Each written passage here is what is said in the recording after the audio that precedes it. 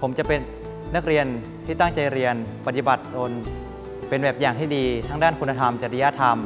น้อมเอาหลักปรัชญาของเศรษฐกิจพอเพียง ในพระบาทสมเด็จพระเจ้าอยู่หัว ไปปฏิบัติกับตน